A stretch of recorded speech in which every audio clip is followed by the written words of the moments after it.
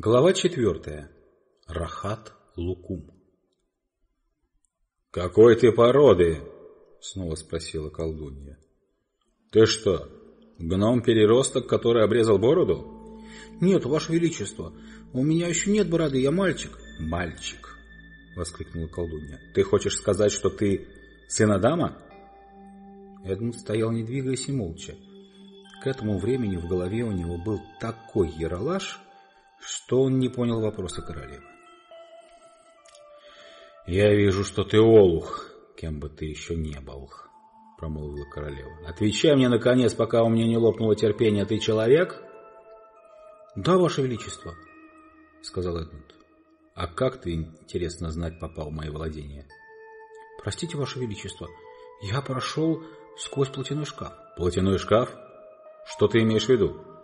«Я «Я отворил дверцу и очутился здесь, Ваше Величество», — пролепетал Эдмунд. «Ха!» — сказала королева скорее самой себе, чем ему. «Дверцу. Дверь из мира людей. Я слышала о подобных вещах. Это может все погубить. Но он всего один, и с ним нетрудно справиться». С этими словами колдунья привстала с сиденья и взглянула Эдмунду прямо в лицо. Глаза ее сверкали. Она подняла волшебную палочку. Эдмунд был уверен, что колдунья собирается сделать с ним что-то ужасное, но не мог и. И тут, когда мальчик окончательно решил, что пропал, она, видимо, передумала. «Бедное мое дитя», — проговорила она совсем другим тоном, — «ты верно замерз? Иди сюда, садись рядом со мной в сани, я закутаю тебя в свой плащ, и мы потолкуем». Хотя Эдмунду это предложение пришлось не совсем по вкусу, он не решил возражать. Он забрался в сани и сел у ее ног, а колдунья накинула на него полуплаща и хорошенько подоткнула мех со всех сторон. «Не хочешь ли выпить что-нибудь горяченького?» — спросила она. «Да, пожалуйста, Ваше Величество», — сказал Эдмунд. Зубы у него стучали от страха и холода. Откуда-то из складок плаща колдунья вынула небольшую бутылочку, сделанную из желтого металла, похожего на медь. Вытянув руку, она капнула из бутылочки одну каплю на снег возле саней. Эдмунд видел, как капля сверкнула в воздухе, подобно бриллианту. В следующую секунду она коснулась снега, послышалось шипение, перед ним, откуда ни возьмись, возник покрытый драгоценными камнями кубок с неведомой жидкостью, от которой шел пар. Гном тут же схватил его и подал Эдмунду с поклоном и улыбкой, не очень-то приятной, по правде говоря. Как только Эдмунд принялся подтягивать это сладкое, пенящееся, густое питье, ему стало гораздо лучше. Он никогда не пробовал ничего похожего, питье согрело Эдмунда с ног до головы. «Скучно пить и не есть при этом», — сказала королева. «Чего бы тебе хотелось больше всего, сына дама?» «Если можно, ваше величество, то рахат лукума», — проговорил Эдмунд. Королева вновь капнула на снег одну каплю из медного флакона. В тот же миг капля превратилась в круглую коробку, перевязанную зеленой шелковой лентой. Когда Эдмунд ее открыл, она оказалась полна великолепного рахат-лукума. Каждый кусочек был насквозь прозрачный и очень сладкий. Эдмунту в жизни еще не доводилось отведывать такого вкусного рахат-лукума.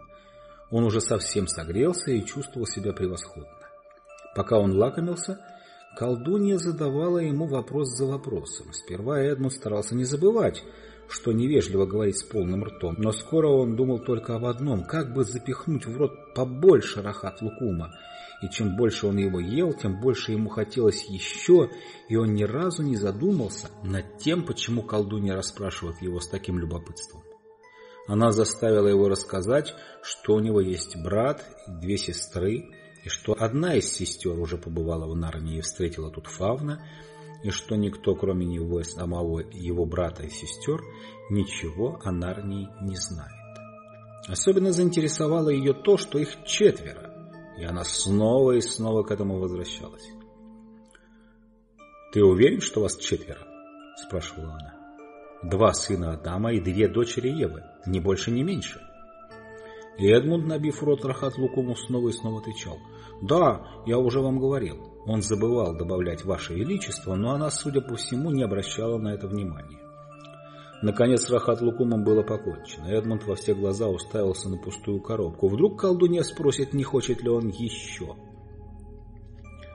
Возможно, она догадывалась, о чем он думает. Ведь колдунья знала, что это волшебный Рахат Лукум, и тому, кто хоть раз его попробует, хочется еще и еще, и если ему позволить, будет есть до тех пор, пока не лопнет. Но она не предложила Эдмунду больше. Вместо этого она ему сказала, «Сын Адама, мне было бы очень приятно повидать твоего брата и твоих двух сестер. Не приведешь ли ты их ко мне в гости?» «Попробую», — сказал Эдмунд, все еще не отводя глаз с пустой коробки. «Если ты снова сюда придешь, конечно, вместе с ними, я опять угощу тебя Рахат Лукумом. Сейчас я не могу этого сделать, магия больше не подействует. Другое дело у меня в замке». «Почему бы нам не поехать сейчас к вам?» — спросил Эдмунд. Когда колдунья предлагала ему сесть к ней в сани, он испугался, как бы она не увезла его куда-нибудь далеко в неизвестное место, откуда он не сумеет найти дорогу назад. Но теперь он позабыл всякий страх. «Мой замок очень красив», — сказала колдунья. «Я уверена, что тебе там понравится. Там есть комнаты с полу до потолка, заставленные коробками с рахат-лукумом. И вот что еще. У меня нет своих детей. Я хочу усыновить славного мальчика и сделать его принцем. Когда я умру, он станет королем Нарнии. Принц будет носить золотую корону и целый день есть рахат лукум, а ты самый умный и красивый мальчик из всех, кого я встречала. Я была бы не прочь сделать тебя принцем.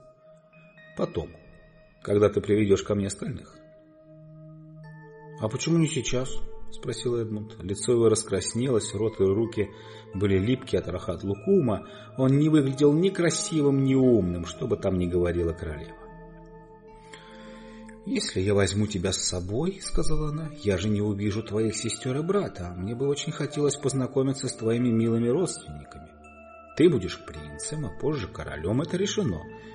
Но тебе нужны придворные, люди благородной крови. Я сделаю твоего брата герцогом, а сестер герцогинями. Но в них-то нет ничего особенного, проворчал Эдмунд. И во всяком случае, мне ничего не стоит привести их сюда в любой другой день.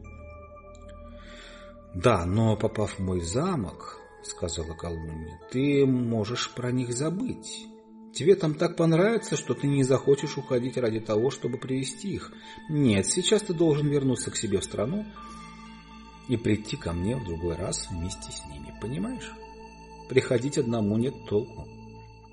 Но я не знаю дороги домой, заскулил Эдмунд. Ее нетрудно найти, сказала колдунья. Видишь фонарный столб?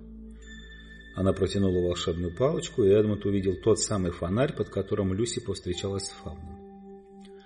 Прямо за ним лежит путь в страну людей. А теперь посмотри сюда. Она указала в противоположную сторону. Видишь два невысоких холма за деревьями? Вижу, сказал Эдмунд. Мой замок стоит как раз между этими холмами. Когда ты придешь сюда в следующий раз, подойди к фонарю и поищи оттуда эти два холма. А потом иди по лесу, пока не дойдешь до моего замка. Но помни, ты должен привести всех остальных. Если ты явишься один, я могу сильно рассердиться. Постараюсь, сказал Эдмунд. Да, между прочим, добавила колдунья, лучше не рассказывай им обо мне. Пусть это останется нашей тайной. Так будет куда интересней, правда? Устроим им сюрприз. Просто приведи их к двум холмам. Такой умный мальчик, как ты, придумает способ, как это сделать. А когда вы подойдете к моему замку, скажи, давайте посмотрим, кто тут живет. Или что-нибудь в этом роде. Я уверена, что так будет лучше всего. Если твоя сестра повстречалась здесь с фауном, она, возможно, наслушалась обо мне всяких небылиц и побоится прийти ко мне в гости. Фауны способны наговорить чего угодно. Ну а теперь, простите меня, прервал ее вдруг Эдмунд, нельзя ли получить еще один единственный кусочек рахат лукума на дорогу? «Нет», — со смехом ответила королева. «Придется тебе подождать до следующего раза». И она велела гному трогаться с места. —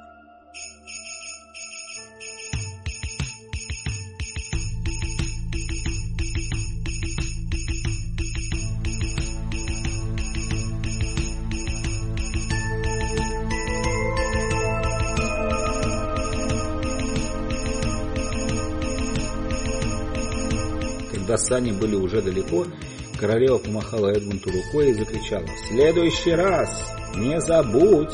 Скорее возвращайся!»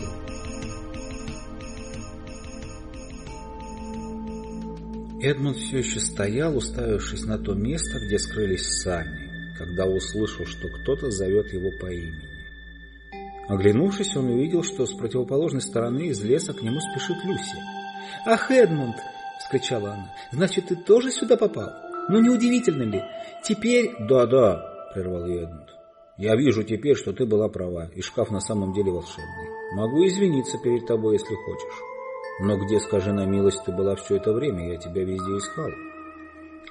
Если бы я знала, что ты тоже здесь, я бы тебя подождала, сказала Люси. Она была так рада и так возбуждена, что не заметила, какое красное и странное лицо у Эдмунда и как грубо он говорит.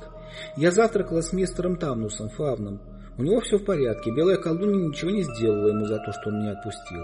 Он думает, что она ничего об этом не знает, и в конце концов все обойдется благополучно. Белая колдунья? повторил Эдмунд. «Кто это?» «О, совершенно ужасная личность», — сказала Люси. «Она называет себя королевой Нарнии, хотя на это у нее нет никаких прав. И все фавны, и дриады, и наяды, и гномы, и животные, во всяком случае все хорошие, прямо ненавидят ее. Она может обратить кого угодно в камень и делает другие страшные вещи. И она так заколдовала Нарнию, что здесь всегда зима. Всегда зима, а Нового года и весны все нет и нет. Она ездит по лесу в санях, запряженных белыми оленями с волшебной палочкой в руке и с короной на голове. Эдмонту и так уже было не по себе от слишком большого количества сладкого, а когда он узнал, что дама, так щедро его угощавшая, страшная колдунья, ему стало совсем скверно. Но Рахат Лукума ему по-прежнему хотелось больше всего на свете. «Кто наболтал тебе всю эту чепуху о белой колдунье?» — спросил он. «Мистер Тамнус, он фавн», — ответила Люси. «Нельзя верить фавнам», — отрезал Эдмунд с таким видом, словно куда ближе знаком с фавнами, чем она. «Откуда ты знаешь?» — поинтересовалась Люси. «Это всем известно», — ответил Эдмунд. «Кого хочешь, спроси. Ну что толку торчать здесь в снегу? Пошли домой». «Пошли», — откликнулась Люси. «Ах, Эдмунд, я так рада, что ты сюда попал. Теперь-то Питер и Сьюзен поверят, что Нарния есть на самом деле, раз мы оба побывали тут. Вот будет весело». Эдмунд подумал, что ему будет далеко не так весело, как ей. Ему ведь придется признаться перед всеми, что Люси была права. К тому же он не сомневался в том, что брат и сестра примут сторону фаунов и зверей, а сам он был на стороне колдуньи. Он не представлял, что он скажет как сможет сохранить свою тайну, если все трое начнут рассуждать о Нарнии. Тем временем они прошли немалое расстояние и внезапно почувствовали, что вокруг них не колючие ветки елей, а мягкие шубы, и через минуту они уже стояли в пустой комнате перед шкафом. «Послушай, Эд», — сказала Люси, — «как ты себя чувствуешь? У тебя ужасный вид». «У меня все в порядке», — сказал Эдмунд, но это было неправдой. Его сильно мутило. «Тогда идем, поищем остальных. У нас есть что им порассказать. А какие удивительные нас ждут приключения, раз теперь мы все будем участвовать в них».